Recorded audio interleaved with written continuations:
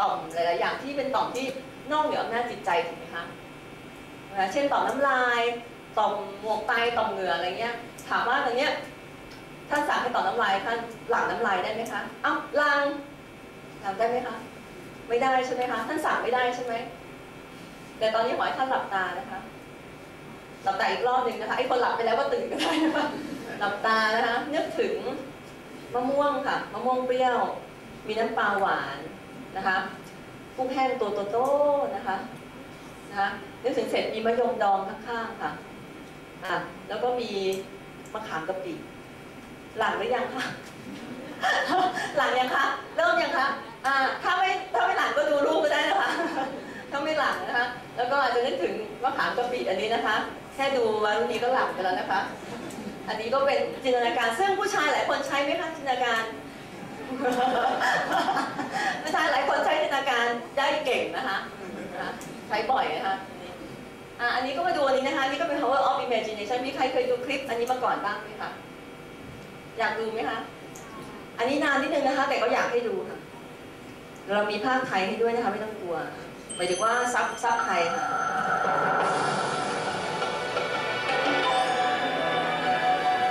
นี่เป็นเรื่องของจินตนาการ your life were a book and you were the author, how would you want your story to go? That's the question that changed my life forever. Growing up in a hot Las Vegas desert, all I wanted was to be free. I would daydream about traveling the world, living in a place where it snowed, and I would picture all of the stories that I would go on to tell. At the age of 19, the day after I graduated high school, I moved to a place where it snowed, and I became a massage therapist. With this job, all I needed were my hands and my massage table by my side, and I could go anywhere. For the first time in my life, I felt free, independent, and completely in control of my life. That is, until my life took a detour. I went home from work early one day with what I thought was the flu, and less than 24 hours later, I was in the hospital on life support with less than a 2% chance of living. It wasn't until days later, as I lay in a coma, that the doctors diagnosed me with bacterial meningitis, a vaccine preventable blood infection. Over the course of two and a half months, I lost my spleen, my kidneys, the hearing in my left ear, and both of my legs below the knee. When my parents wheeled me out of the hospital, I felt like I had been pieced back together like a patchwork doll. I thought the worst was over until weeks later when I saw my new legs for the first time. The calves were bulky blocks of metal with pipes bolted together for the ankles, and the yellow rubber foot with the raised rubber line from the toe to the ankle to look like a vein. I didn't know what to expect, but I wasn't expecting that. With my mom by my side and tears streaming down our faces, I strapped on these chunky legs and I stood up. They were so painful and so confining that all I could think was, how am I ever going to travel the world in these things? How was I ever going to live the life full of adventure and stories as I always wanted? And how was I going to snowboard again? That day, I went home, I crawled into bed, and this is what my life looked like for the next few months. Me passed out, escaping from reality, with my legs resting by my side. I was absolutely, physically, and emotionally broken. But I knew that in order to move forward, I had to let go of the old Amy and learn to embrace the new Amy. And that is when it dawned on me be five foot five anymore. I could be as tall as I wanted.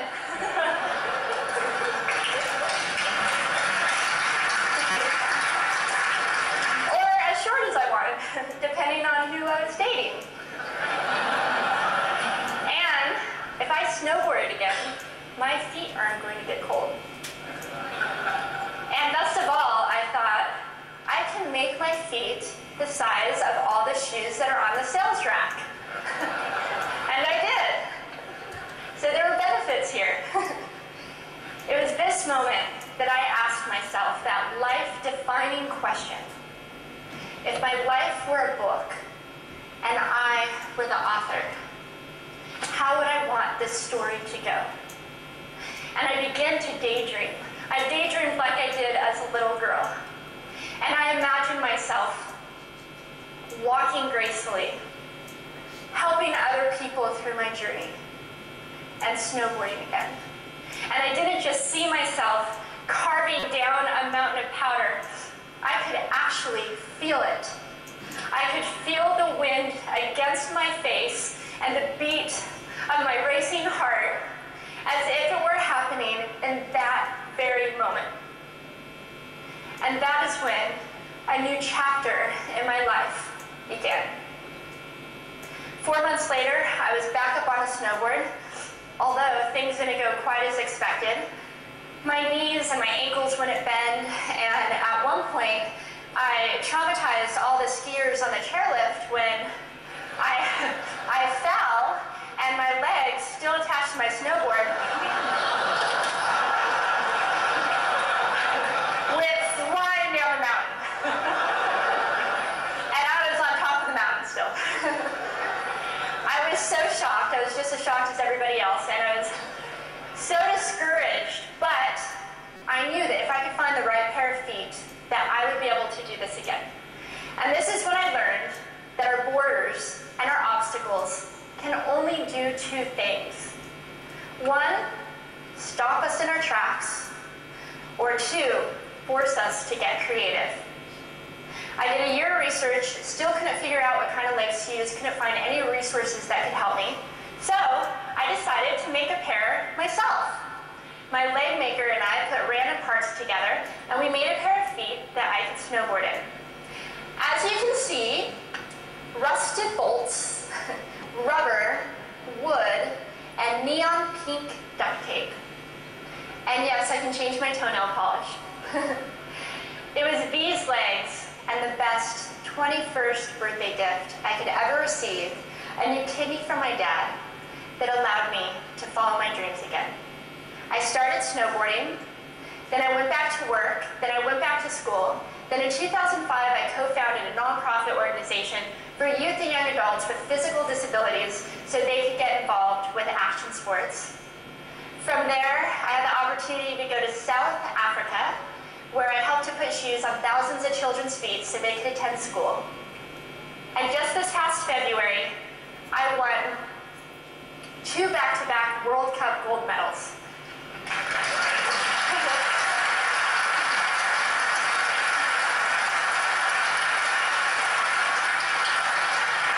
which made me the highest ranked adaptive female snowboarder in the world. 11 years ago, when I lost my legs, I had no idea what to expect. But if you ask me today if I would ever want to change my situation, I would have to say no. Because my legs haven't disabled me. If anything, they've enabled me. They've forced me to rely on my imagination and to believe in the possibilities. And that's why I believe that our imaginations can be used as tools for breaking through borders. Because in our minds, we can do anything, and we can be anything. It's believing in those dreams and facing our fears head on that allows us to live our lives beyond our limits. And although today is about innovation without borders, I have to say that in my life, innovation has only been possible because of my borders. I've learned that borders are where the actual ends, but also where the imagination and the story begins. So the thought that I would like to challenge you with today is that maybe instead of looking at our challenges and our limitations as something negative or bad,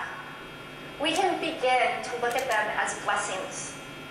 Magnificent gifts that can be used to ignite our imaginations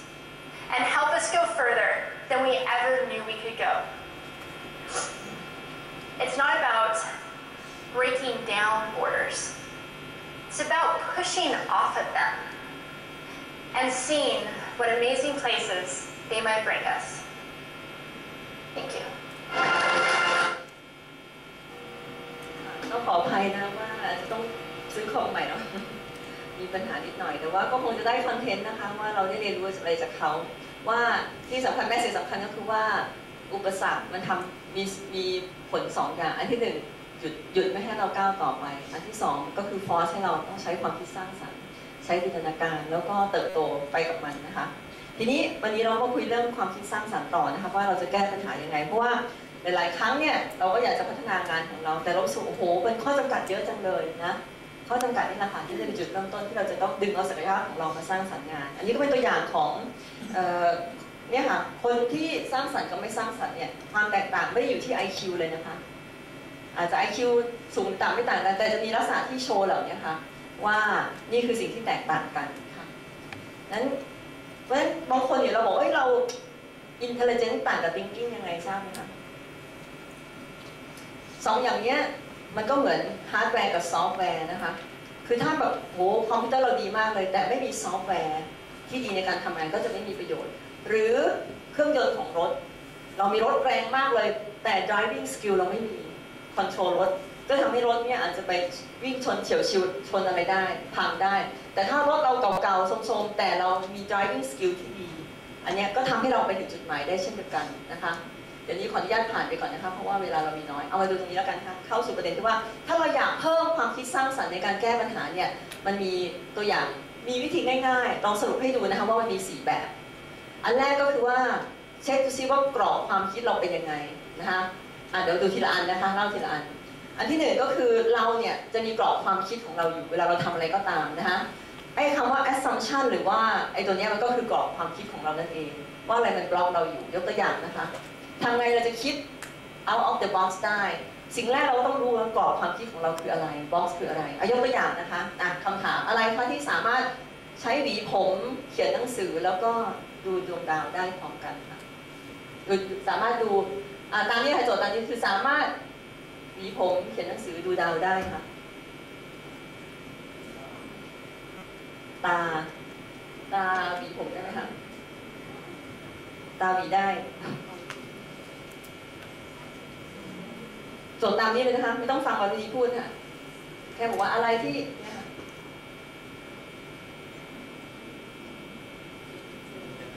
ยอมไหมคะคำตอบง่ายๆค่ะคำตอบก็คือหวีปากกาแล้วก็กล้องดูดาวค่ะกรอบความคิดของเราคืออะไรคะไม่ได้พูดเลยว่าอย่างเดียวถูกไหมคะไม่ได้พูดสักคำเลย แล้วไม่ได้บอกด้วยว่าไม่ให้ปรึกษากัน แต่เราไม่ยอมปรึกษากันเลยนะคะ คือคุยกันได้เนี่ยค่ะนี่คือกรอบความคิดของเราวันนี้ไม่ได้บอกเลยว่าต้องทำด้วยสิ่งเดียวค่ะนะคะ ยกตัวอย่างอะท่านเล่นด้กระดาษที่แจกไหมคะมีไหมคะกระดาษที่แจกไปท่านคิดว่าเออเขาเรียกว่าอะไรนะอ่าเนี่ยค่ะลองดูนะคะ กระดาษอันนี้ สะกดจิตมีจริงไหมคะเรื่องการสะกดจิตมีจริงไหมคะใครเคยโดนสะกดจิตแล้วบ้างอะลองดูนะคะอะลองมีใครเคยเล่นเกมนี้มาก่อนอย่าเพิ่งเล่นนะคะเอาเฉพาะคนที่ไม่เคยเล่นก่อนนะคะอะ กรอบ A ถ้าเราจะแบ่งรูปเนี่ยค่ะ สีเทาคือส่วนที่ไม่เอานะคะ จะแบ่งให้เป็นสองส่วนเท่าๆกัน แบ่งยังไงคะ อันนี้ไม่ยากเนาะตอบได้ทุกคนใช่ไหมคะ แบ่งเป็นสองส่วนด้วยกัน ก็ขีดตรงนี้ใช่ไหมคะ นะ โอเคนะ ถ้าอันนี้ล่ะคะ แบ่งเป็นสามส่วนเท่าๆกันทำได้ไหมคะสองขีด โอ้ยสบายง่ายใช่ไหมคะ อ่า ง่ายมาก อันนี้จะเริ่มยากขึ้นแล้วนะคะ ยากขึ้นแล้ว อ่า อันนี้แบ่งเป็นสี่ส่วนเท่าๆกัน ไม่เอาสีเทาค่ะ อะลงมือเลยค่ะ ยากขึ้นมาหน่อยนะ ลองดูนะคะ มีกระดาษเยอะใช่ไหมคะ ให้เป็นรูปสมมาตรวางทบกันได้พอดีค่ะ วางหักมุมอะไรต้องทับกันได้พอดีอันนี้ก็ทับกันได้พอดีอันนี้ก็ทับกันได้พอดีทำไงจะได้เป็นรูปสี่ส่วนสี่รูปที่รูปทรงสมมาตรทับกันพอดีเป๊ะมีกระดาษให้แล้วใช่ไหมที่เป็นรูปคิดในใจเลยนะอาจารย์ตอบได้ยังสามขีดตรงไหนคะเส้นทะแยงมุมนี้เหรอคะ ไม่ได้ค่ะอาจารย์ ไม่ถูก ไม่ค่ะอาจารย์มีกระดาษไหมอาจารย์ลองวาดดู ต้องเป็นรูปสมมาตรด้วยนะคะ รูปเหมือนกันเป๊ะนะคะ ขนาดเท่ากันวางทับกันได้พอดี อยู่หน้าสุดท้ายของเอกสารที่แจกให้อ่าโอเค หน้าสุดท้ายของเอกสารค่ะ มีท่านได้ทำได้แล้วบ้างคะ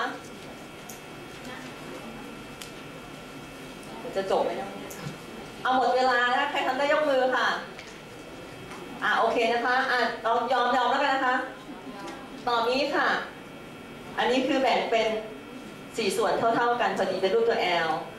นะคะ สมมาตรนะคะ อ่าอันสุดท้ายค่ะ อันนี้จะยากที่สุดแล้วนะคะ เพราะนี้มันค่อยๆได้เขาเนี่ยรูปนี้นะคะ ถ้ามีกระดาษใช่ไหมคะ แบ่งเป็นรูปทรงสมมาตรห้าส่วนเท่า ๆกันค่ะ อันนี้จะยากที่สุดเลยค่ะ ให้เวลาสองนาทีค่ะ เอาลองดูนะคะ ขีดขีดเขียนเขียน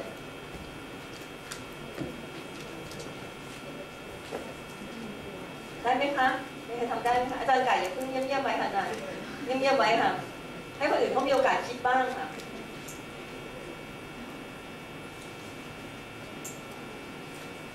จะสำเร็จเดี๋ยวเวลาเท่าไหร่ถ้าใครติดธุระก็ไปครึ่งชั่วโมงนะโอเคเอาหมดเวลาค่ะ ใครทำได้แล้วบ้างคะอะเฉลยแล้วนะคะ ไม่มีอะไรทำนะคะ เฉลยแล้วนะคะ วิธีทำคืออย่างนี้ค่ะ ห้าส่วนเท่าๆกันค่ะ เป็นรูปทรงสมมาตร ง่ายไหมคะ ง่ายแสดงว่าท่านกำลังโดนวารุณีสะกดจิตใช่ไหมคะตะกี้บอกว่ายากขึ้นเรื่อยๆเรื่อยๆแล้วใจเราเชื่ออย่างนั้นนะคะ ถ้าเราเชื่อว่าเรามาเป็นอะไรนะ เป็นแค่พนักงานราชการวันหนึ่งคงไม่มีโอกาสได้เป็นผู้อำนวยการโรงพยาบาลเด็กหรอกแสดงว่าท่านอะไรสะกดจิตตัวเองมันยากใช่ไหมคะ อาจารย์ไก่บอกไม่ได้เนี่ยนะคะเนี่ยค่ะโดนอาจารย์ไก่สะกดจิต ไม่แน่นะคะ อาจจะมีไม่แน่นะคะทำได้เพราะว่าอย่างอาจารย์อะไรท่านหนึ่งที่อยู่รามคำแหงอะทำได้ไปแล้ว เป็นแค่พนักงานราชการสุดท้าย อาจารย์ทำจนกระทั่งอาจารย์สามารถเป็นคณบดีได้นะคะเพราะฉะนั้นเนี่ยท่านต้องบอกเองว่ามันไม่ใช่เรื่องยากทุกอย่างมันทำได้นะคะ อย่าตีกรอบความคิดตัวเองเนี่ยค่ะที่ขอร้องไว้นะคะอย่างมาบอกว่างานวิจัยงานวิจัยทำยากไหมคะ ถ้าเราสะกดจิตเองว่างานวิจัยทำยาก ถ้าเราไปดูนะคะ ที่ศรีราชรปภทำวิจัยค่ะแล้วก็ที่บางโรงพยาบาลเนี่ยรปภเขาทำวิจัยเรื่องความปลอดภัยของรถจักรยานยนต์อะไรที่มาจอดเขาถามตั้งหลายเรื่องเรื่องของทำไงจะลดการไฟไหม้อะไรอย่างเงี้ยนะคะอะอย่างอันเนี้ยค่ะ ให้คนไข้กินยาให้ครบยากไหมคะ adherence บางอย่างเรารู้สึกมันยากใช่ไหมคะ แต่ถ้าเรามีเทคนิคนิดนึงเราบอกว่าอะลองให้เขามี sense of accomplishment นิดนึง เช่น แทนที่กิน 10 เม็ดสีขาว เราบอกว่า 7 เม็ดสีขาวอีก 3 เม็ดสีน้ำเงิน พอกินไปถึง 7 เม็ดมันรู้สึกมาถึงขั้นหนึ่งละนะต่อไปอีก 3 วันเองอะไรเงี้ย อันนี้ก็เป็นวิธีที่ว่าให้คนไข้มีความรู้สึกว่ามีอย่างน้อยได้ประสบความสำเร็จไปทีละขั้นทีละขั้น แต่ให้บอกกินสีขาว10วันติดกันมันจะรู้สึกแบบโหนานจังเลยเป็นต้นนะคะเป็นการคิดแบบอื่นเนี่ยยกตัวอย่างถ้าบริษัทเขามีปัญหาเขาทำเรื่องเขาขายนาฬิเอ่อขายปากกา แล้วเขาบอกว่าเนี่ยทำไมยอดขายมันตกจังเลยอยากจะให้ยอดขายมันเพิ่มต้องทำยังไงดีก็ประชุมรวมระดมสมองกัน ปรากฏว่ามี manager คนหนึ่งเป็นผู้หญิง อายุไม่เยอะก็บอกว่าเนี่ย you ask the wrong question พูดกับ CEO เลยนะบอกว่าทำไมถึงทำไมพูดอย่างนี้อะก็ you ask ก็ you ถามว่าคุณถามผิดคำถามอะคุณคุณไม่ควรจะถามว่าทำยังไงจะจะขายปากกาให้มากขึ้น สิ่งที่คำถามที่คุณถามคุณต้องถามว่า เราอยู่ใน business อะไร what business are we in เราทำ business อะไร เพราะว่าเขาไปเซอร์เวย์แล้วเพราะว่าคนที่ซื้อปากกาเขาเนี่ยไม่ได้ซื้อไปเขียนค่ะเขาซื้อไปทำอะไรรู้ไหมคะเป็นของขวัญเพราะนั้นเขาไม่ได้อยู่ใน pen business เขาอยู่ใน gift business เพราะฉะนั้นเขาก็ต้องไปแบบตกแต่งเอาอะไรต่างๆ เพื่อตรงนั้นก็ทำให้ขายของได้ดีขึ้นนะคะนั้นบางทีเราจะตีกรอบความคิดตัวเอง หรืออย่างเงี้ยค่ะ คุณขายชุดชั้นในหรือว่าคุณกำลังขาย self confidence ให้กับผู้หญิงคะ ช่ไหมคะนี่ถ้าเกิดเราขายชุดชั้นในบางทีขาย 69 บาทก็ตลาดนัดก็มีใช่ไหมคะ เราจะไปแข่งกับเราจะไปแข่งกับเขาก็ลำบากเดี๋ยวถ้าเราต้องการขาย self confidence ของผู้หญิงอย่างเงี้ย ก็อาจารย์ไก่ไม่เคยเห็นหรอคะอาจารย์ ไม่เคยเดินตลาดนะอาจารย์สงสัยมากเลยค่ะอาจารย์ไม่เชื่อวารุณีค่ะนะคะเออมีนะคะอาจารย์เออเออเออค่ะ ก็อันนี้ก็เขาก็จะขาย self-confidence เขาจะขายอีกแบบหนึ่งนะคะ อ่าอย่างเนี่ย incubator หลาย ๆ ประเทศในแอฟริกาเนี่ยจะมีปัญหาไม่มี incubator ในการอบเด็กแรกเกิดที่เป็น newborn น้ำหนักตัวน้อยค่ะเขาก็ประเทศพัฒนาก็บริจาคไปเยอะเลยนะคะปรากฏว่าอยู่ได้นานไหมคะใช้ได้นานไหมไม่นานหนึ่งความชื้นอากาศร้อน แล้วชิ้นส่วนที่พังง่ายใช่ไหมคะเขาก็เลยเนี่ยถาม wrong question อีกแล้วโอ้ขาด incubator ความจริงต้องถามว่าอะไรที่ work ในแอฟริกา อะไรที่ work รู้ไหมคะในนั้นน่ะ มีรถโตโยต้าค่ะ รถโตโยต้าเป็นอุปกรณ์ไฮเทคชนิดเดียวที่ใช้ได้อย่างค่อนข้างไม่มีปัญหาเสียก็ซ่อมได้ เขาก็เลยผลิตตู้อบที่ใช้ทุกชิ้นส่วนเนี่ยนะคะ spare part มาจากโตโยต้าอ่าพอมีปัญหาปุ๊บเขาก็สามารถซ่อมได้เปลี่ยนได้ค่ะนะคะอันนี้ก็คือว่าคุณต้องถามให้ถูกคำถามไม่งั้นก็จะแก้ปัญหาไม่ได้ หรืออย่างนี้ยค่ะทำไมเราต้องตีกรอบว่าตู้อบจะต้องเป็นตู้ละคะคุณอาสาเนี่ยหล่อไหมคะ หล่อมากเลยนะคะวันนั้นมาโรงพยาเด็กด้วยนะคะนะวันรุ่นนี้ก็ไปกระทบไหล่หมดนะคะที่ห้องผอคนนี้เขาเป็นนักศึกษาค่ะ ปริญญาโทที่ University of California เดี๋ยวนี้อเมริกาเนี่ยเขาเปลี่ยนการเรียนการสอนเป็นแบบว่าเวลาจะทำวิทยานิพนธ์เนี่ยเขาไม่ให้คิดเอาเองนะคะ คุณจะต้องไป survey ที่ประเทศที่กำลังพัฒนา ดูว่าตอนนี้ปัญหาชีวิตจริงคืออะไร แล้วแก้ปัญหานั้นเขาก็เลยมา survey เขาเพราะว่าเขาทำงานร่วมกับคุณหมอไป คุณหมอชื่อไปอะไรสักอย่างไปเนี่ยอยู่ที่ภาคเหนือ คุณหมอบอกว่า ขาด incubator แล้วก็เงินก็ไม่ค่อยมี เขาก็เลยผลิตเนี่ยค่ะเป็นเสื้อเอี้ยมให้แม่ใส่นะคะเอี้ยมเนี่ยจะมีแบบชิลที่จะรักษาความร้อน แล้วตอนที่ transport เอาตัวแม่เป็นวางเด็กบนตัวแม่ค่ะ ก็จะแผ่ความอบอุ่นมาจากร่างกายแม่นะคะ เด็กก็นอนอยู่บนตัวแม่ แล้วถ้าหากว่าต้องแวะแวะเอาเด็กออกมาปุ๊บก็คลี่ผ้าออกมาเอาเด็กวางลงมันก็จะมี chemical substance อยู่ภายในข้างข้างในในชีสเนี่ย น่าจะชื่อโซเดียมอะซิเตตหรืออะไรเนี่ยดึงปุ๊บมันก็จะกระจายความร้อนได้ทันที สามารถ resuscitate เด็กได้นะคะอันนี้ก็ประหยัดมากเลยต้นทุนน้อยมากเลยนะคะเพราะเราจะทำ clinical trial กับเราอีกไม่นานนี้นะคะก็คงจะในประเทศไทยค่ะจะเป็นที่เราหรือที่อื่นเดี๋ยวนี้ก็เป็นผลงานเราใช่ไหมคะโรงพยาบาลเด็กว่าเนี่ยเด็กแรกเกิดที่น้ำหนักตัวน้อยจะซื้อ Pampers มาใส่เนี่ยเขาพยาบาลจะมานั่งมันฉี่บ่อยมากอะพยาบาลจะดูแลได้ยังไง ถ้าใส่แบบนี้คงไม่มีใครดีไซน์ Pampers ที่ สำหรับเด็กต่ำกว่า 2 กิโลหรือไม่ถึง 3 โล ก็จะเกิดปิดบังพื้นที่ผิวส่องไฟก็ลำบากตัวเหลืองก็กว่าจะส่องไฟได้สำเร็จก็นานนะคะเนี่ยค่ะพื้นที่ผิวเหลือนิดเดียวในการส่องไฟเพราะมันใหญ่มาก ก็พยาบาลที่ใน ICU สงสัยไม่ค่อยมีอะไรทำนะคะเธอก็ไปดีไซน์นะคะงานน้อยงานน้อยนะคะก็เอาผ้ามาเย็บนะคะวันว่างเย็บปักถักร้อยทำเป็นไอเวลโครไฟเบอร์แล้วเอาผ้าอนามัยของตัวเองนะคะที่ยังไม่ได้ใช้ มาลองทดลองดูก่อนนะคะนะ จริงอาจารย์นี่เขาเรียกมินิซูโม่นี่นะคะแล้วก็มาแปะนะคะ แล้วก็ช่วยโรงพยาบาลประหยัดเงินไปได้เยอะเลยค่ะนะอาจารย์ไม่รู้เลยค่ะอาจารย์ไม่ให้สองพันอ่าโอเคนะคะอันนี้นะคะประหยัดได้มากเลยแล้วแถมที่สำคัญนะคะเป็นไงคะ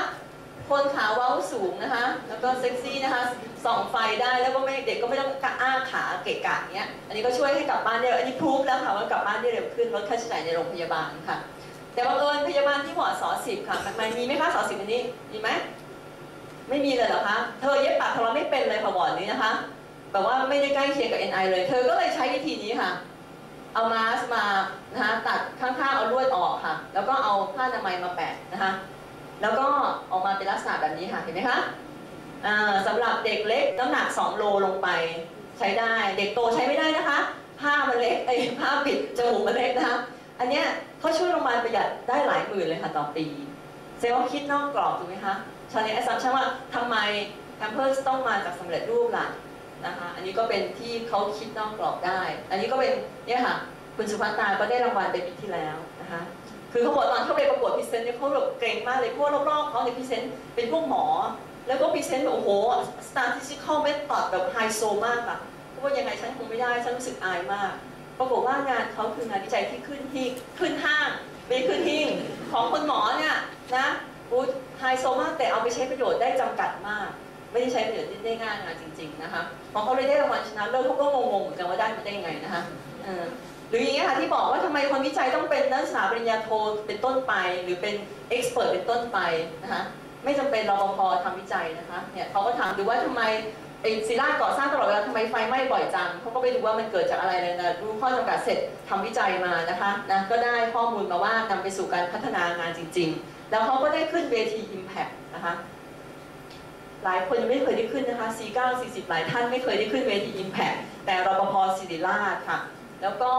คนนี้เป็นจะเป็นจะเป็นช่างนะคะช่างซ่อมบำรุงที่โรงพยาบาลแห่งหนึ่งที่สงขลานะคะได้ขึ้นเวทีเพราะเขาดูแลเรื่องท่อน้ำเสียของโรงพยาบาลอ่าแล้วทำไมงานวิจัยทำไมต้องตีกรอบว่า เราต้องทำเฉพาะของเราล่ะคะกรอบความคิดเราต้องทำของเราโคได้ไหมคะ อันนี้อาจารย์ยงที่ศูนย์ไวรัสวิทยา ที่จุฬาแล้วก็อาจารย์ท่านนี้เป็นระดับโลกเลยนะคะ ก็คือว่าพันพันธุศาสตร์ อาจารย์ยินดีทำร่วมกับเราค่ะนะคะเราไปคุยกันแล้วเพราะฉะนั้นถ้าเรามีอะไรอย่าคิดว่าเราต้องทำเฉพาะของเรา เรามี connection เยอะแยะ หรือแม้แต่ที่ที่มีแบบผู้ชายเยอะๆอย่างนี้นะคะ แถววิศวะอะไรอย่างนี้นะคะ เรามีผู้หญิงเยอะใช่ไหมคะเออเราก็อันนี้ทางงานวิจัยบางอย่างต้องการ high-tech innovation เราไปคุยกับเขาเขามาเขาเนี่ยอยากจะทำวิจัยเขามีอุปกรณ์ แต่เขาไม่มีเคสให้ลงค่ะ เราก็ไปร่วมจอยกับเขาสิคะนะคะจะมีหินนวัตกรรมที่ราชวิถีแล้วก็ไปรู้จักมาหลายคนละนะคะหรือ n e c t e c h ก็เหมือนกันค่ะ n e c t e c h ก็เป็นองค์กรที่ต้องการแก้ปัญหาจริง ๆ ในชีวิตจริงนะคะอันนี้เราก็ไปเยี่ยมเข้ามาแล้วนะคะเขาก็มีอะไรหลายๆอย่างให้เราเอามาใช้ได้ค่ะเดี๋ยวอย่างเงี้ยอย่างแอปอันนี้นะคะแอปพลิเคชันคุณลูกเนี่ยประเมินพัฒนาการเด็กอะไรต่างๆเดี๋ยวนี้สบายเลยสามารถวัดวัดได้ชัดเจนแล้วก็มี KidDiary ซึ่งขอให้ท่านมาติดตามต่อนะคะทั้งสัปดาห์ละที ข้อมูลเหล่านี้เยอะมากให้พวกเราได้ไปดูซิว่าเอาไปทำวิจัยได้ยังไงนะคะอันนี้ก็เขาบอกว่าอย่างเงี้ยค่ะคืออะไรที่เราไม่รู้เนี่ยไม่ค่อยเอาไม่ค่อยทำให้เราเกิดปัญหาหรอก แต่อะไรที่เราคิดว่ามันใช่แน่แต่มันไม่ใช่อย่างนั้นนะคือปัญหานะคะนั้นก็อย่าตีอย่าอย่าเชื่อกรอบความคิดเรามากบางทีต้อง challenge มันเหมือนกัน ข้อถัดไปก็คือว่าวิธีเพิ่มความคิดสร้างสรรค์คือบางทีเนี่ยมันมีทั้งกรอบทั้งกฎเกณฑ์อะไรเยอะแยะมากมายบางครั้งเราต้อง break the rule บ้างยกตัวอย่างนะคะ อ่าลองดูนะคะที่เนี่ยคนนี้ท่านมีชัยใช่ไหมคะสมัยก่อนเนี่ยเรารู้ว่าท่านประสบความสำเร็จเรื่องของการคุมกำเนิด เวลาอ่านแบบมันรู้สึกมันง่ายๆมันก็ไม่น่าจะมีอะไรแต่เบื้องหลังกว่าจะประสบความสำเร็จได้มีอะไรเยอะที่ท่านต้องใช้ creativity นี่ค่ะการคุมกำเนิดถ้าทำในกรอบก็คือว่าแพทย์ต้องเป็นผู้จ่ายยาถูกไหมคะอาจารย์ก็ไม่สำเร็จแน่เลย อาจารย์ก็มองว่าอย่างเงี้ยแพทย์คือเหมือนเป็นอะไรมี authority เหนือกว่าคนไข้ แต่ถ้าเอาไปอยู่ที่ เนี่ยร้านชำปรากฏว่าลูกค้าคือพระเจ้าจะไปอยากมาเวลาไหนก็ได้มาเสร็จก็ได้รับการดูแลอย่างดีรวดเร็วไม่ช้าไม่ต้องรอนานอ่าเขาก็รู้ว่ายามันปลอดภัยนั้นก็เอาไปนอกกรอบได้นะคะ แม้แต่อย่างในเนี้ยค่ะนะคะตลาดน้ำก็มีการขายพวกอุปกรณ์คุมกำเนิดได้ หรือแม้แต่ผู้หญิงเนี่ยค่ะ นั่งทำผมหนีไปไหนไม่ได้นะคะช่างเนี่ยพูดเกรอกหูได้เลยสบายหลายหลายนาทีนะคะสามารถอันนี้ก็สามารถขายของไปได้ด้วยค่ะ อันนี้เป็นการรณรงค์เรื่องของคุมกำเนิด แล้วก็เอาถุงยางมารณรงค์ให้คนรู้จักรู้ว่ามันปลอดภัยแล้วก็สะอาดไม่ไม่เป็นเรื่องสัปดนอะไร แล้วก็เนี่ยค่ะชักจูงให้ผู้ชายมาทำหมันยากไหมคะนะยากมากก็ทำเป็นหมันทัวร์นะคะ แล้วก็ทำหมันเงินล้านที่กองสลากทำกันแบบเหมือนเนี่ยค่ะตลาดเลยเอาโต๊ะมาวางแล้วก็เอาเข้าไปทำเสร็จปุ๊บภายในไม่กี่นาที ถ้าคุณเป็นนัดคิวที่โรงพยาบาลเป็นไงคะกว่าจะได้ก็ช้ามากใช่ไหมคะแต่หมันทัวร์เนี่ยนะคะแบบว่าขึ้นไปทั้งรถเลยค่ะรถคันนี้ไปกลับมาเป็นหมันแน่นอนนะคะภรรยาสบายใจนะคะ ว่าไม่ต้องไปมีลูกที่ไหนแน่นอนนะคะ หรือว่าเนี่ยค่ะเขารู้ว่าเวลาเราที่เราไปอะรณรงค์อะไรเนี่ยถ้าเอาเรื่องสุขภาพเป็นตัวตั้งเนี่ยคนไม่ค่อยสนใจถูกไหมแต่ถ้าเราเอาเรื่องของรายได้อะคนสนใจไหมคะอย่างลดภาษีโอ้โหแห่ซื้อกันใหญ่เลยใช่ไหมกองทุนนู่นนี่นั่น ไม่ต้องขอร้องเลย เพราะฉะนั้นเนี่ยเขาบอกว่าถ้าเกิดคุณมีลูกห่างกันอย่างน้อย 2 ปี คุณมีสิทธิ์กู้เงินได้เขาเรียกว่าโครงการเงินกู้ปลอดคัน อันนี้ก็เป็นที่มาว่าทำไมเขาถึงทำอย่างประสบความสำเร็จนะคะเดี๋ยวนี้ก็บอกว่าเอ๊ะบางโปรเจกต์อะไอเดียดีมากเลยแต่ไม่มีเงินนะเราชอบอ้างคำว่าขาดเงินขาดคนขาดของเลยทำอะไรไม่ได้ เดี๋ยวนี้ไม่มีข้ออ้างแล้วค่ะ ถ้าโครงการของคุณดีคุณไปที่ Kickstarter ได้ค่ะ คุณก็ไปแชร์เลยว่าคุณมีอะไรเสร็จ แล้วคนเห็นความดี หรือคนสนใจเขาจะมาเป็นหุ้นส่วนกับเรา อาจจะโดเนทสักจำนวนหนึ่งดอลลาร์อะไรต่างๆเนี่ยเวลาคุณซื้อ Product ก็จะซื้อได้ในราคาที่ถูกลงครึ่งหนึ่งหรือแล้วแต่จะตกลงกันว่า ถ้าเครื่องมือนี้ออกมาเนี่ยคุณซื้อได้ราคาที่ถูกกว่านะคะนี่เป็นการระดมทุนโดยไม่ต้องผ่านทางอะไรอะอะไรซื้อหุ้นซื้ออะไรนี้นะคะหรือแม้แต่เนี้ยค่ะ youcaring.com อันนี้เป็นเว็บไซต์ที่สำหรับ fundraising ออนไลน์ฟรี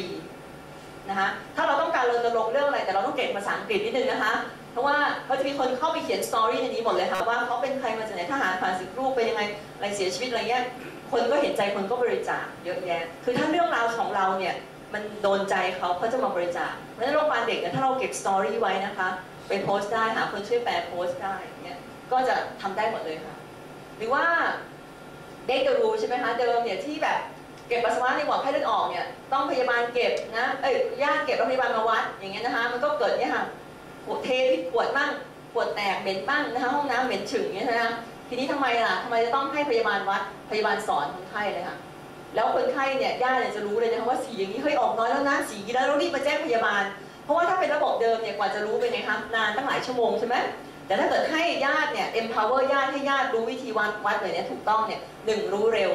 แล้วก็ไม่เหม็นห้องน้ำแล้วก็แก้วไม่แตกไม่บาดเจ็บด้วย อันนี้ก็เป็นการคิดนอกกรอบนะคะเขาก็ปรากฏว่าออกมาได้ผลดีนะคะอันถัดไปที่เราจะวิธีสร้างสรรค์ก็คือเนี่ยค่ะเปลี่ยนมุมมองของเราเลือกที่จะมองในมุมที่แตกแตกต่างออกไปไม่เหมือนคนอื่นนะคะ ไม่ใช่ใครคิดอย่างนี้ก็คิดตามกัน อย่างเช่นเนี้ย impossible เราก็เลือกที่จะอ่านว่า I am possible ก็ได้นะคะอะอย่างยกตัวอย่างคนนี้นะคะคุณซิดเนี่ย เอ่อเบิร์นสไตน์เนี่ยเป็น legendary เป็นคนคนหนึ่งเป็นชาวยิวนะอยู่ที่อังกฤษ เขาเป็นคนก่อตั้งไอ้โรงละครที่ชื่อเสียงโด่งดังมาก ตอนในปี 1950 เนี่ย BBC เนี่ยเป็นสถานีบอร์ดคาสต์อันเดียวในอังกฤษ ไม่ปล่อยแบบอะไรไม่เปิดประมูลอะไรเลย BBC พอเขาเริ่มเปิดประมูลนะคะให้บริษัทอื่นเนี่ยเข้ามาทำทีวีได้เนี่ยวิเศษอันเนี้ยเขาก็จะเหมือนกับว่าทุกคนก็อยากจะจำกระโดดเข้ามาในวงการนี้ ทุกคนก็ไปจ้างนักวิเคราะห์มาค่ะอนาลิสบอกว่าเฮ้ยไปวิเคราะห์สิเมืองไหนนะที่แบบรายได้เยอะๆนะเขาจะไปปิดว่าจะไปทำสถานีตามเมืองตามนั้น ปรากฏว่าคุณซิดเนี่ยคิดไม่เหมือนคนอื่น เขาไปบอกนักวิเคราะห์ว่าไงรู้ไหมคะ ให้ไปวิเคราะห์ดูซิว่าเมืองไหนเนี่ยฝนตกเยอะที่สุด ระดับน้ำสูงที่สุด อังกฤษมันฝนตกทั้งปีถูกไหมคะอ่าถ้าวินเชสเตอร์อะไรเงี้ยโอมเขาไม่สนใจหรอกเพราะว่าอากาศดีคนจะอยู่บ้านนะคะ ไม่อยู่ก็ไป walk the dog กันหมดใช่ไหมเพราะฉะนั้นเนี่ยเขาก็ได้มาถูกๆเลยนะคะ ได้เมืองเหล่านั้นมาถูกๆ แล้วก็ทำจนกระทั่งรายได้สูงสุด เพราะว่าคนติดทีวีเยอะ เพราะว่าฝนมันตกบ่อย ก็อยู่อยู่บ้าน เขาก็เลยไอ้สร้างโรงละครนี้มาได้ แล้วก็เป็นที่เรื่องลืออย่างวันนี้เหมือนกันค่ะ คนนี้เป็นประธานาธิบดีคนแรกของตุรกี ตุรกีก็เป็นประเทศมุสลิมนะคะ มุสลิมเนี่ยผู้หญิงต้องปิดหน้าใช่ไหมคะ ใส่ชุดอะไรปิดหน้าไปหมด เขาไม่อยากให้เป็นอย่างนั้น เขารู้สึกว่ามันเป็นการเชิงแบบสัญลักษณ์ที่แบบไม่ไม่ให้เสรีภาพสำหรับผู้หญิง เขาจะไปแก้ปัญหานี้ไม่ให้ผู้หญิงใส่ผ้าปิดเขาทำยังไงรู้ไหมคะถ้าไปบังคับมันก็จะมีปัญหาว่าหรือว่าให้ถอดนี่ก็จะยากมากเพราะมันเกี่ยวข้องกับศาสนา สิ่งที่เขาทำเขาบอกว่าอย่างนี้ค่ะ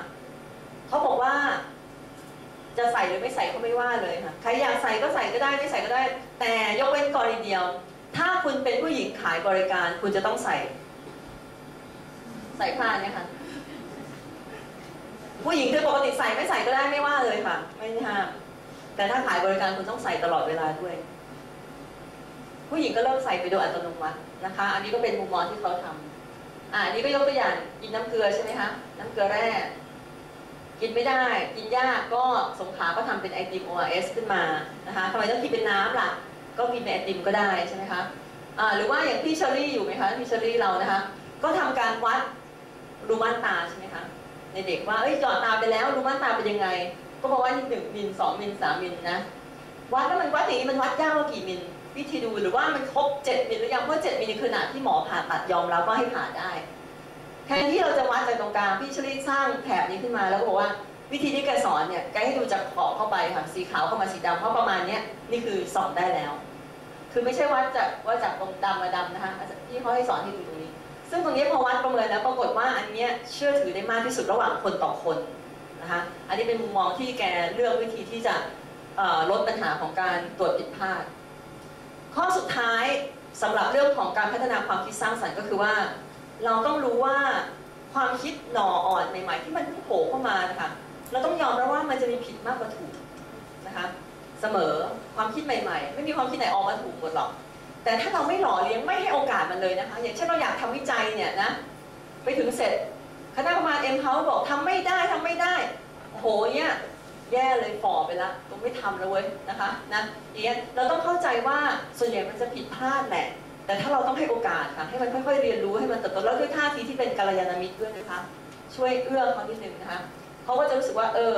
อันนี้เป็นเรื่องปกติ การผิดพลาดเป็นเรื่องที่ให้เราได้เรียนรู้แล้วเราเก่งขึ้นเรื่อยๆค่ะ ก็ยกตัวอย่างนะคะพวกที่ผิดพลาดเรียนไม่จบนะคะ สุดท้ายก็กลายเป็นดิลเลนแนร์พวกที่เรียนจบก็อาจจะอยู่ในสภาพแบบนี้นะคะเออแล้วถ้าเราไม่มีจุดหมายที่ชัดเจนในชีวิตเราก็จะตกในสภาพแบบซื้อความทุกข์ให้กับลูกยัดเยียดการเรียนโดยไม่จำเป็นให้กับลูกโดยที่ลูกไม่มีโอกาสได้รู้จักตัวเองเลยวันนี้ค่ะชอบอันนี้มากเลยบอกว่าเนี่ยเวลาเราเรียนรู้อะไรหลาย ๆ อย่างเนี่ยเราจะเรียนรู้ส่วนใหญ่เรียนรู้จากความผิดพลาดมากกว่าสิ่งที่เราทำถูกต้องใช่ไหมคะนะนั่นเนี่ย ทำเยอะๆค่ะไม่เป็นไรค่ะ ต้องฝึกบ่อยๆฝึกคิดบ่อยๆ มันจะผิดบ้างก็ไม่เป็นไรค่ะ แต่มันจะช่วยให้เราคิดได้เหมือนบิลเกตบอกเลยค่ะเขาสอบตกใช่ไหมคะในห้องเขาสอบตก แต่เพื่อนเขาเนี่ยสอบผ่านหมดเลยนั้นเพื่อนเขาก็เลยกลายเป็นวิศวกรที่อออยู่ในบริษัทเขาในขณะที่เขาเป็นเจ้าของบริษัทนะคะเพราะเขาทำผิดพลาดตอนที่เรียนนะคะนั้นก็โดยสรุปนะคะ ก็คือว่าถ้าเราจะพัฒนาความคิดสร้างสรรค์ในการแก้ปัญหา ก็อย่าลืมเช็คกรอบความคิดของเรา บางครั้ง อย่าลืมว่ากฎเกณฑ์บางอย่างเอาไว้เบรกนะคะแล้วก็หรือว่าเอาไว้ฟอร์สให้เราใช้ความคิดสร้างสรรค์ในการแก้ปัญหา อาจจะลองมองในมุมมองต่างๆ ไม่ต้องเชื่อตามคนอื่นเสมอไป สุดท้ายก็คือว่าอ๋อต้องเป็นเลินนะคะนี่สะกดตัวอาผิดตกไปต้องเลินจากความผิดพลาด แล้วอย่าให้ความผิดพลาดนั้นมาบั่นทอนกำลังใจเรา แล้วเราต้องช่วยเหลือซึ่งกันและกันนะคะ แล้วก็ตอนนี้เราพูดถึงเรื่องของจะจบแล้วนะคะอ่าเราพูดถึงเรื่องของ จิตใจเออสมองไปแล้วใช่ไหมคะอย่าลืมนะคะที่สำคัญเราก็ต้องค้นหา passion ของเราให้เจอ passion ของเราคืออะไร passion ก็อย่างที่บอกความกระเฮี้ยนกระหือรือที่อยากจะ อยากจะทำอะไรสักอย่างให้มันสำเร็จนะคะ มีใครเคยดูคลิปอันนี้บ้างไปแล้วไหมคะเคยยกมือเนี่ยค่ะ อยากดูไหมคะ